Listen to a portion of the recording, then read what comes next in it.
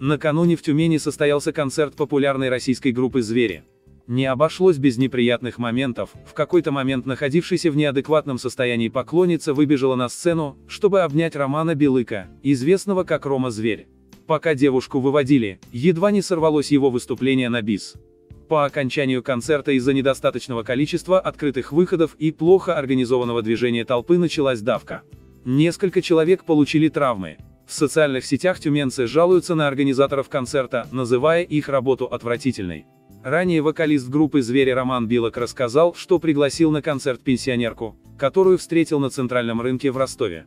Он увидел на улице женщину, переносившую тяжелый груз, и помог ей.